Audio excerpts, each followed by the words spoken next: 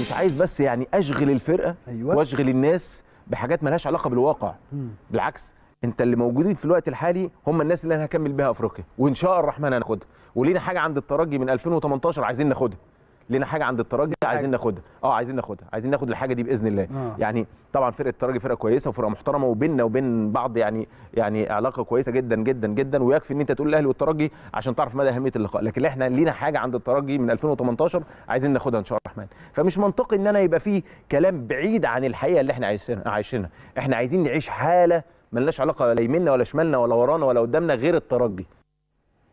وخدناها عن جدارة واستحقاق. يعني حتى بشهادة التوانسة نفسهم. وأنا يمكن النهارده هستعرض مع حضراتكم آه، ردود الأفعال على فوز النادي الأهلي وإقصائه للترجي من الدور قبل النهائي سواء في تونس أو كمان في فين؟ جنوب أفريقيا لأنه جنوب أفريقيا دلوقتي مركزين معاك كويس جدا. والحقيقة يمكن آه، بعد ما ضمنوا إن هم متأهلين آه، كان في ردود أفعال قوية جدا امبارح برضو. يعني فرقتهم متأهلة وافترض إنه يعني يبقوا مركزين معاها بشكل كبير جدا. أول مرة كايزر تشيفز يوصل نهائي دوري أبطال. وهي فرقة محترمة على فكرة بالمناسبة عشان الناس ما تستهونش بيها. يعني ما يخدعكمش مشوارهم ونتائجهم. لا هي فرقة محترمة وتعتبر من أكبر الفرق.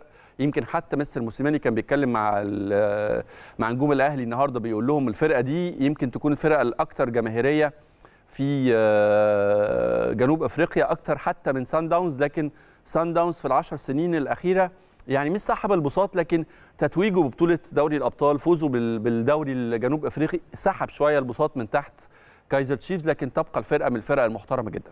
هاجي لكايزر تشيفز وهفصصها لكم آه، يعني كلمة كلمة وحرف حرف الفترة اللي جاية. بس يعني خلينا نفرح النهارده وأنا عايز أقف مع كلام كابتن سيد اللي كان بيقول دلوقتي لينا حاجة عند الترجي ورايحين ناخدها.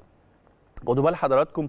أنا أنا شايف البطولتين دول نسخة آه، 2020 ونسخة آه، 2019 أنا شايفهم combo يعني شايفهم package واحد على بعضه مش قادر أفصلهم عن بعض. وإن شاء الله بإذن الله الكلام ده إن شاء الله حضراتكم تتأكدوا منه بعد ما الأهلي إن شاء الله يتوج بالنجمه العشر